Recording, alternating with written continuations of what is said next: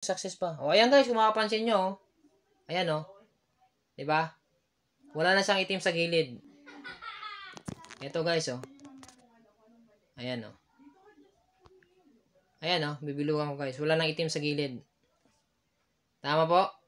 So, ayan guys, ah, nakikita nyo naman, nag, nag proper, nag, nag-success siya.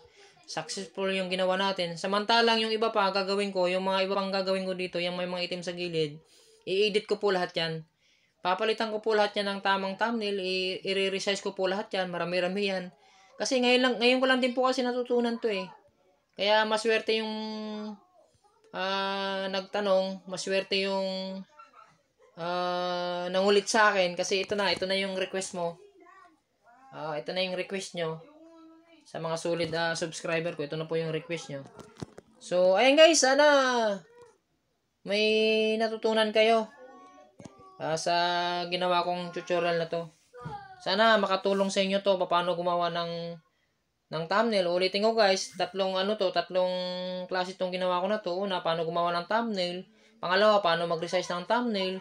Pangatlo, paano magpalit ng thumbnail. So, ito guys ha, nakikita niyo naman. Successful siya. So, ayan guys, hanggang sa huli, hanggang sa muli.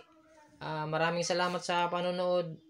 Kung hindi ka pa guys naka-subscribe dyan sa channel ko, kung hindi mo pa hindi ka pa uh, solid subscriber ni Maki, Maki Oso TV, i-subscribe mo na ngayon guys. I-click mo na yung notification bell para lagi ka pong updated sa mga next na video yung gagawin ko. Sa next tutorial na gagawin ko para laging para update ma-update po kayo. Then paki-like guys, paki-share. Uh, at uh, maraming salamat. Bye. I will run, I will climb, I will soar.